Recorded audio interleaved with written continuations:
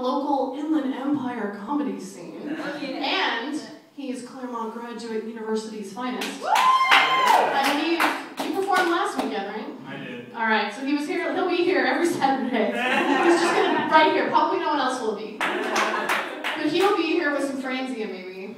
So everybody, please put your hands together. Yeah. Yeah. Oh, oh, I forgot the most important thing. This is his birthday week. So please show him extra love. Many, many years ago, this day, or was it yet? No, was it yesterday? Two days ago? Uh, for, for Yeah. two days in the future. Like, Oh, two in the days in the future in the past. Two days in the future, in the past, he was expelled from his mother's uterus. Everybody, please put your hands together for Josh Messer.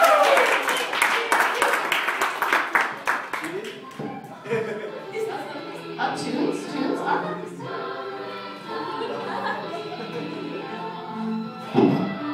Wait, who sound yeah, is the sound guy? Just gonna keep on going. Somebody save me! and I'll look down and whisper no. Just gonna continue the Watchmen references until someone turns it off. Fine, okay, I don't know.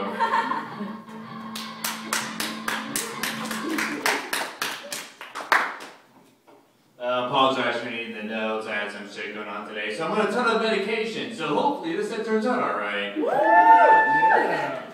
Ah, college kids wooing medication.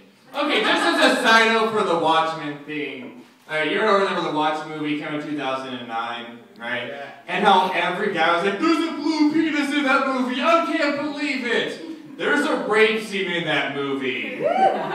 Which you? Actually, there was two. There was one between Silk Spectre and the comedian, and one with Zack Snyder and Alan Moore for two hours straight. On to the. Hey, I'm Josh Messer. I'm here to fist fuck your funny bone.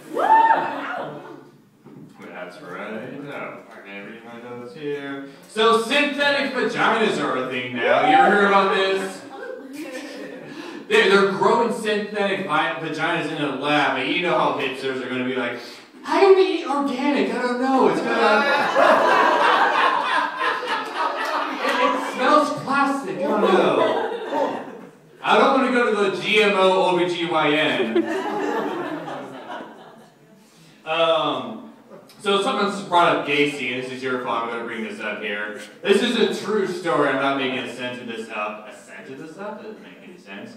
Um, you know John Wayne Gacy, his crimes, he killed 33 little boys or whatever. Um, his defense attorney said all of them were consensual sex that accidentally ended in murder. All, are there lawyers? Okay, everyone's a politician. Are there lawyers in the audience? Is there a limit to manslaughter? Like there has to be a line somewhere where it doesn't count.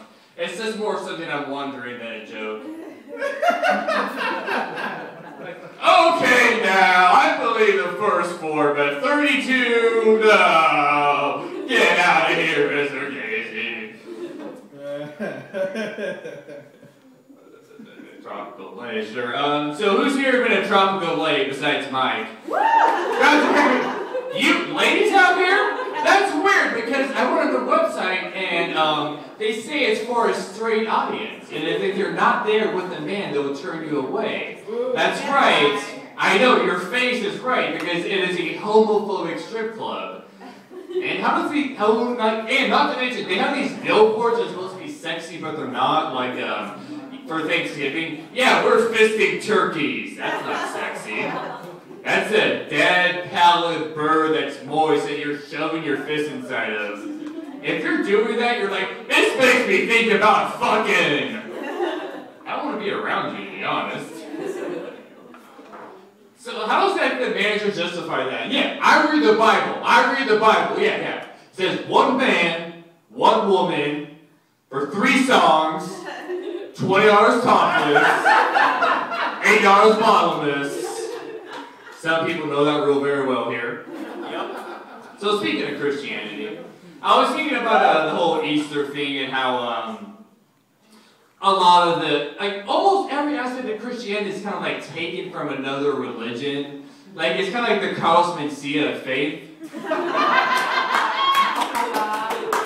or if you're into movies, Tarantino. Or if you're into music, Led Zeppelin. Oh, oh, fuck you! They stole from dirt poor black musicians and made millions.